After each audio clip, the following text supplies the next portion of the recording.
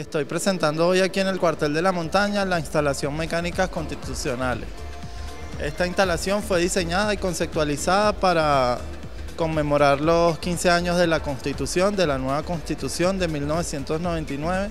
Eh, yo desarrollé esta propuesta que se llama Mecánicas Constitucionales y es básicamente una fábrica, un sistema de producción serial que a través de los cajetines, las poleas, eh, los destellos lumínicos, eh, produce constituciones. ¿no? Eh, se divide en cuatro módulos. El primer módulo representa el ideal bolivariano, ¿no? la refundación de la patria. Es lo que carga el transformador de energía y es lo que pasa la corriente o la energía a todos los demás módulos.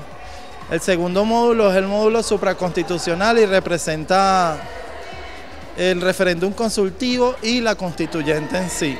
De alguna forma ahí se ven reflejados a través de generadores, diagramas, poleas, eh, cajetines, todo lo que fue la discusión en el seno de la Asamblea Nacional, ¿no? Eh, las movilizaciones populares, las campañas, eh, los archivos de video del camión que viajó por el país recogiendo las propuestas. Y el módulo 3, que es materialización, que es ya donde el sueño se vuelve realidad, donde la constitución se vuelve un hecho, donde tenemos un nuevo proyecto de país, que es un diagrama de flujo con una banda de rodamiento, donde van saliendo las constituciones ya listas y caen en un carrito que las mete en un cajetín que las pasa para el módulo 4. El módulo 4 es inclusión y participación ciudadana, que es donde la gente tiene la posibilidad de interactuar con la obra, cuenta con un sensor de movimiento eh, y ofrece al usuario bueno, una aproximación a la constitución a través del arte.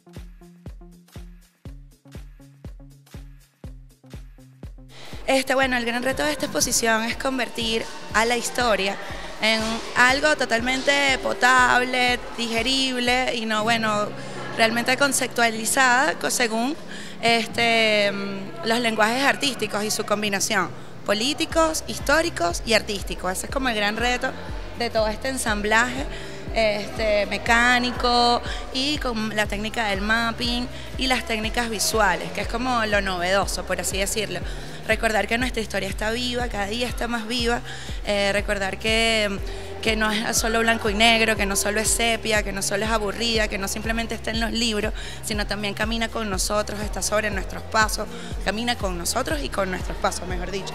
Y este, conocer que este es el mayor acercamiento que podemos tener a la historia y para nuestra juventud, desde las nuevas tecnologías y desde los lenguajes y sus combinaciones.